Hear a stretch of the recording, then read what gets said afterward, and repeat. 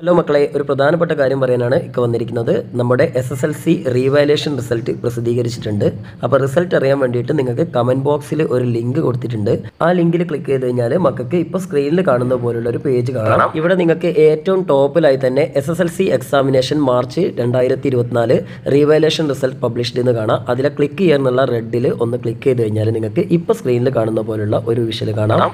ഇവിടെ മക്കൾ നേരത്തെ എസ് എൽ സി റിസൾട്ട് നോക്കിയ പോലെ തന്നെ നിങ്ങളുടെ രജിസ്റ്റർ നമ്പറും അതേപോലെ തന്നെ ഡേറ്റ് ഓഫ് ബർത്തും ക്ലിക്ക് ചെയ്ത് കഴിഞ്ഞാൽ നിങ്ങൾക്ക് നിങ്ങളുടെ റിസൾട്ട് കാണാവുന്നതാണ്. പിന്നെ ആദ്യമേ തന്നെ പറയണം നേരത്തെ നമ്മൾ സൂചിപ്പിച്ച പോലെ തന്നെ ആർക്കെങ്കിലും റിസൾട്ട് ചേഞ്ച് ആയിട്ടുണ്ടെങ്കിൽ ചേഞ്ച് ആയ റിസൾട്ട് ഇതിൽ കാണും. ചേഞ്ച് ആയിട്ടില്ലെങ്കിൽ നോ ചേഞ്ച് എന്നായിരിക്കും കാണിക്കുക.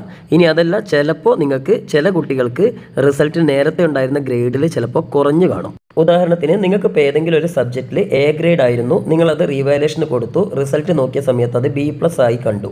അങ്ങനെയാണെങ്കിൽ നിങ്ങൾ പേടിക്കൊന്നും വേണ്ട.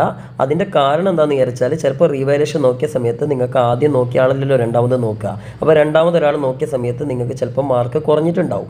ആ മാർക്ക് കുറഞ്ഞതുകൊണ്ട് പുതിയ ഗ്രേഡ് അതിൽ കാണിച്ചതാണ്. പക്ഷേ അതൊരിക്കലും നിങ്ങളുടെ എസ് എസ് എൽ സി ബുക്കിൽ കാണിക്കില്ല നേരത്തെ റിസൾട്ട് അറിഞ്ഞ സമയത്ത് നിങ്ങൾക്ക് ഏത് ഗ്രേഡ് ആയിരുന്നോ അതേ ഗ്രേഡ് തന്നെ ആയിരിക്കും നിങ്ങളുടെ എസ് എൽ സി ബുക്കിൽ ഉണ്ടാവുക. അപ്പോൾ അതുകൊണ്ട് ഇങ്ങനെ റിസൾട്ട് കുറഞ്ഞു പോയത് ഗ്രേഡ് കുറഞ്ഞു പോയതായിട്ട് ആരെങ്കിലും കണ്ടിട്ടുണ്ടെങ്കിൽ ടെൻഷൻ അടിക്കൊന്നും വേണ്ട കേട്ടോ